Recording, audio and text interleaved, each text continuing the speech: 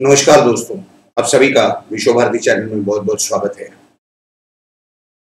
आज हम आपको जो जानकारियाँ देने जा रहे हैं, यानी जिसकी एनालिसिस करने जा रहे हैं, वो आर्यन खान और अनिल देशमुख, जो कि अब तक जिनका पता नहीं चल रहा कहाँ पर है तो आर्यन खान की जमानत तो कल हो चुकी थी, लेकिन आदेश आज दोपहर को साढ़े तीन बजे के आसपास उनके वकीलों के हाथ में आए करीब करीब साढ़े तीन बजे के आसपास। खैर, ये आदेशों के बाद, हाथ में मिलने के बाद उन्हें सेशन कोर्ट जाना था। वहाँ पर एक लाख रुपए के जामीनदार वहाँ पेश करने थे और वहाँ से रिलीज़ ऑर्डर लेना था। हालाँकि साढ़े पाँच बजे के आसपास तक उन्होंने आर्थर रोड जेल में वो आदेश, वो जो टपाल पेटी वहाँ पर होती है बॉक्स होता है, उसमें डालने ज़रूरी थे। फिर भी उन्हें सात बजे तक की अवधि प्रदान कर दी गई थी। उनके वकील वो नहीं कर पाए। उसके बाद उन्होंने किया है या नहीं किया है, पता नहीं। अगर उन्होंने नहीं किया है तो फिर कल शाम तक, यानी शनिवार के शाम तक अरिन खान बाहर आने की संभावना है। और अगर उन्होंने वो आदेश वहाँ पहुँचा दिए हैं तो शनिवार की सुबह सुबह यानी कल सुबह सुबह वो जेल से बाहर आ जाएँगे। नवाब मलिक ने जो इतना बड़ा हंगामा खड़ा करके रखा था, उसमें नवाब मलिक के खिलाफ कई सारी शिकायतें दर्ज हो चुकी है। समीर वानखेड़े साहब, जो सोनल डायरेक्टर हैं एनसीबी के। उन्होंने राज्य के सोशल जस्टिस डिपार्टमेंट के अंडर जो तो शेड्यूल कास्ट शेड्यूल ट्राइब का कमीशन आता है, उनके पास उन्होंने शिकायत दर्ज करवा दी है, भेज दी है नवाब मलिक के खिलाफ, जो कि एनसीपी के प्रवक्ता है। हालाँकि वो एक मंत्री हैं, लेकिन मंत्री जैसा बर्ताव उस शपथ के हिसाब से वो नहीं कर रहे हैं। इसकी राज्यपाल जो तो महाराष्ट्र के सम्मानीय राज्यपाल हैं, उन्होंने दखल लेना बहुत ज़रूरी है। खैर, ये सभी गोपनीय बातें, गोपनीय दस्तावेज़, वो बाहर निकाल रहे हैं किसी और के पर्सनल, जो कि बिल्कुल गलत काम है। और खास करके जिस समाज से सम्माननीय समीर वानखेड़े साहब आते हैं, उस स्पेसिफिक जाति के खिलाफ इस तरह का कोई भी भाव रखना यह अपने आप में एक गैर कानूनी काम है दखल पात्र गुना भी है। उसमें देखते हैं आगे क्या होता है, ये भी जानकारी मिल रही है सूत्रों द्वारा से, सूत्रों से प्राप्त हो रही है कि उनकी जो बहन है एडवोकेट यास्मीन वानखेड़े, उन्होंने भी अम्बोली पुलिस स्टेशन में कुछ शिकायत दर्ज करवाई है, या शायद शिकायत भेज दी है वहाँ पर। आते अनिल देशमुख के विषय में। अनिल देशमुख, जो कि अब तक फरार माने जा रहे थे, यानी अंडरग्राउंड माने जा रहे थे, जिनके खिलाफ लुकआउट नोटिस तक जारी हो चुका है, उन्हें मुंबई उच्च न्यायालय यानी बॉम्बे हाईकोर्ट ने दिया बड़ा झटका, उन्होंने जो क्रिमिनल एप्लीकेशन वहाँ पर रखी थी, जिसमें उन्होंने ये मांग की थी कि हम ऑनलाइन इन्वेस्टिगेशन में हेल्प करेंगे, अपना स्टेटमेंट लिखवाएँगे और वगैरह वगैरह इत्यादि, या फिर वो जो समन उन्हें भेजे गए हैं, ये कि चार या पाँच, ये सब कॉश किए जाए, यानी बर्खास्त किए जाए, ये सब हाईकोर्ट ने उनकी पूरी एप्लीकेशन रिजेक्ट कर दी है। खाली उन्हें एक आदेश दिया है, एक परमिशन दी है, एक अलाउ किया है कि ईडी के दफ्तर में, यानी एनफोर्समेंट डायरेक्टोरेट के कार्यालय में जब वो जाएँगे, उस समय उनके साथ उनकी इंक्वायरी उनकी इन्वेस्टिगेशन के समय उनके वकील वहाँ हाजिर रह पाएँगे। यानी उनकी जो तहकीकात है, जो उनकी जाँच है, उनके वकीलों के सामने की जा सकेगी। यानी उन्हें ईडी के दफ्तर में जाना होगा, ये बिल्कुल तय हो चुका है। और ईडी को अधिकार है ये जाँच करने का, ये हाईकोर्ट ने अपने आप में मान लिया है और इनका कर्तव्य बनता है कि ईडी के सामने हाजिर हो ये क्या छुपाने की कोशिश कर रहे हैं।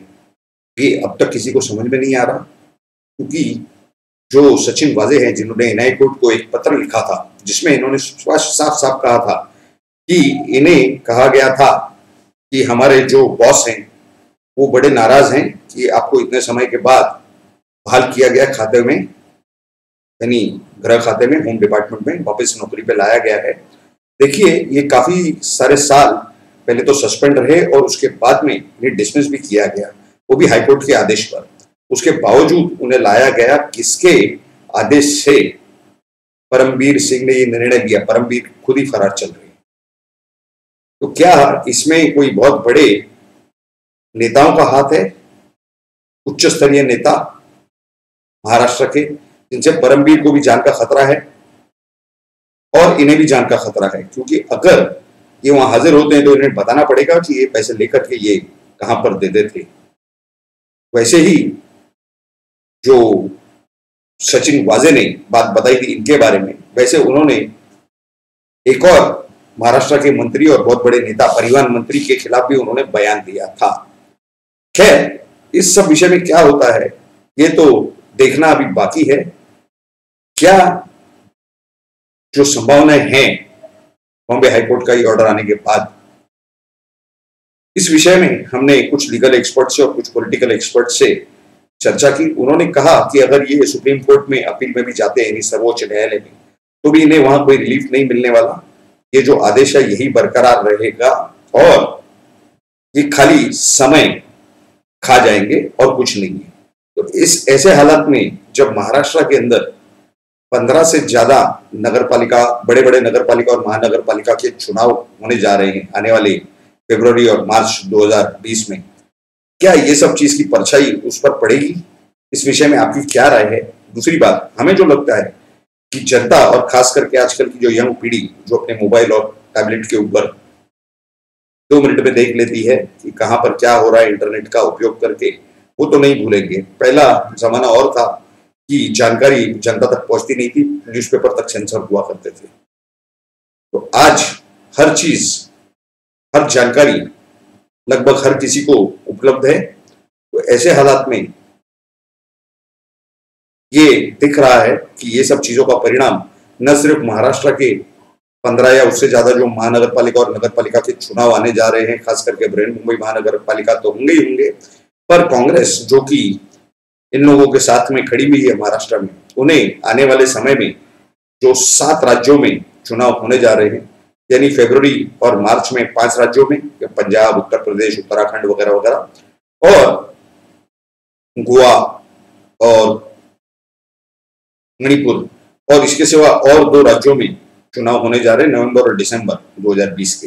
ये सब पर कांग्रेस को सबसे बड़ा भुगतान करना पड़ेगा खामियाजा भुगतना पड़ेगा। ये स्पष्ट रूप से साफ़ दिख रहा है, जिस तरह से ये जो अनिल देशमुख है और उनकी जो पार्टी है और साथ में कांग्रेस, ये इस अंतरराष्ट्रीय ड्रग लॉबी के साथ खड़ी है, जो कि देशों की युवा पीढ़ियों को बर्बाद करने में तुले इन्हें क्या लाभ है? नहीं है, ये जनता ने उनसे पूछना चाहिए। आने वाले चुनाव में जब ये आपसे आपका वोट मांगने आएँगे, मतदान मांगने आएँगे, ये जानकारी लेना और सही तरीके से लेना, प्राप्त करना, ये आप सभी का, यानी हम सभी का, ये पूरा पूरा अधिकार है। तो आर्यन खान की जानकारी तो हमने आपको बता दी। और अनिल देशमुख की भी जानकारी आपको बता दी।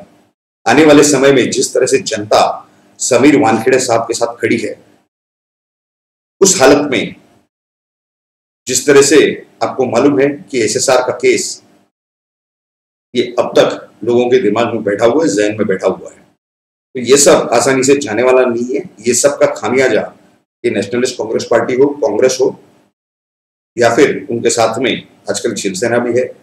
इन्हें अलग ही तरीके से भुगतना पड़ेगा, ये कितना भी माहौल बदलने की कोशिश कर ले, इनको ये समझ में नहीं आ रहा है अब तक कि ये जिस तरह से लोगों से इन्होंने मतदान मांगा था और लिया था, भारतीय जनता पार्टी के साथ मिलकर के, और जिन्हें मैंडेट मिला, विरोध में बैठने का, उनके साथ मिलकर के जो सरकार इन्होंने बनाई है, इसका बहुत बड़ा खामियाजा उन्हें भी भुगतना पड़ेगा। जनता शॉर्ट साइटेड नहीं है शॉर्ट मेमोरी भी नहीं है उनकी।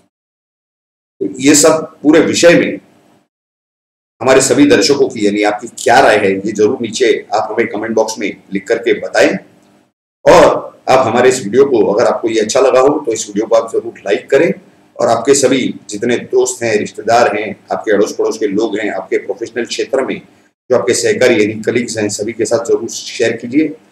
और अगर आपने हमारे इस चैनल को अब तक सब्सक्राइब नहीं किया है तो जल्द से जल्द सब्सक्राइब पर क्लिक कीजिए और उसके बाजू में जो बेल आइकन का स्विच है, उस पर क्लिक करके ऑल नोटिफिकेशन यानी सभी नोटिफिकेशन को ऑन कर दे, ताकि आपको हमारे हर वीडियो और हर एपिसोड की नोटिफिकेशन तुरंत प्राप्त हो।